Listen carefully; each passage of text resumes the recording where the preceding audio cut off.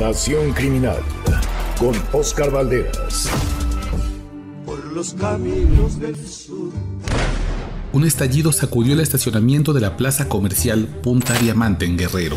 Eran las 4.30 de la tarde del 23 de febrero de 2013 y esa detonación de una pistola calibre 45 se conectaría 3.282 días después con la tragedia del incendio de más de 50 locales en el Tianguis Campesino de Acapulco ocurrido el viernes pasado. Sigue ardiendo, sigue ardiendo el mercado central, calle 16 de septiembre. Todo empezó con un hombre al que hace 8 años no le importó que Acapulco estuviera sitiado por 4.000 soldados que protegerían la ciudad durante el abierto mexicano de tenis, y enfiló hasta un Mercedes-Benz estacionado para accionar su arma contra el empresario de origen belga, Jan Sarens. La munición impactó en el pecho del llamado rey de las grúas, quien había amasado una fortuna en Acapulco. El asesino, Félix Alejandro Magno Acevedo, alias el Correcaminos, planeó el crimen en venganza por la negativa de Jan Sarens de ceder ante sus extorsiones. El Correcaminos resultó un criminal que es todo menos cualquiera. Se trata de uno de los fundadores del SIDA, o Cártel Independiente de Acapulco, una escisión del clan de los Beltrán Leiva, los dueños de facto de Acapulco durante la década pasada, a partir de la caída de Edgar Valdés Villarreal, la Barbie. Tras su detención, la Barbie calificó al grupo del Correcaminos como una bola de gente sin cerebro, intentando explicar así su barbarie. Los del SIDA no eran empresarios criminales que sabían hacer negocios ilícitos, por ejemplo, con la mafia china, sino una jauría de matones rudimentarios. El poder del correcamino se exhibió después del homicidio del rey de las grúas. El propio jefe de la Policía Ministerial del Estado advirtió que el entonces procurador de Guerrero le había pedido arrestar a cualquier chivo expiatorio por el asesinato de Jan Sarens. De ese modo, el gobierno de Acapulco se sacudiría las presiones de la Embajada de Bélgica y protegería al fundador del SIDA. La revelación de la protección de alto nivel que gozaba el Correcaminos provocó que sus propios protegidos lo traicionaran y ese mismo invierno, a finales de 2013, fue detenido. Sin embargo, un juez encontró grietas legales para ponerlo en libertad meses después. El Correcaminos volvió a la calle solo para atizar la guerra por Acapulco.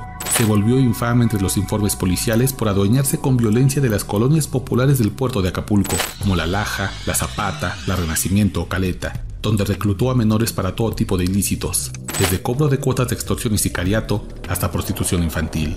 Duro, sangriento y nervioso como bistec barato, el correcamino se volvió objetivo prioritario de autoridades federales, quienes lo detuvieron en enero de 2016 en Ecatepec, Estado de México, huyendo de sus enemigos que urdían un plan para asesinarlo por calentar la plaza. Parecía el fin del capo. Cayó con una AK-47 que no pudo usar para defenderse y medio kilo de cocaína. Por los delitos de portación ilegal de arma de fuego y delitos contra la salud, pasaría hasta 30 años en un penal federal en Ciudad Juárez, Chihuahua.